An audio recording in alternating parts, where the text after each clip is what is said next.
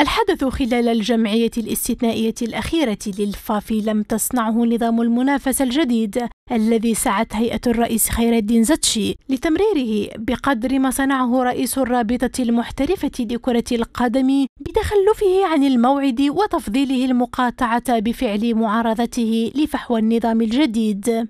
وتفضيله البقاء بعيدا تفاديا لتزكية نظام يحمل في طياته بوادر رحيله من على رأس الرابطة التي بذل المستحيل من أجل اعتلاء عرشها.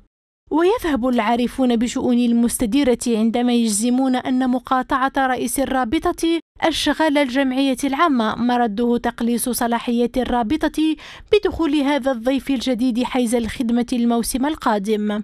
حينها ستنحصر مهامه وأعضاء مكتبه في إدارة يوميات الرابطة المحترفة الأولى فقط بعد نهاية عهد الاحتراف في الرابطة الثانية. وبالتالي تكون مصداقية الرابطة قد ضربت في الصميم.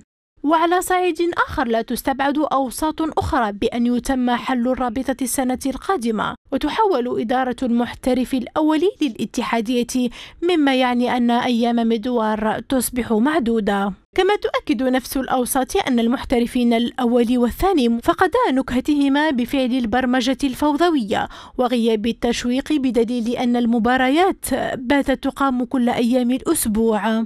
ومشاكل الفرق مع هيئة الناطق الرسمي لأولمبي شليف تفاقمت بفعل العوائق والصعوبات التي تعترض سبيلهم.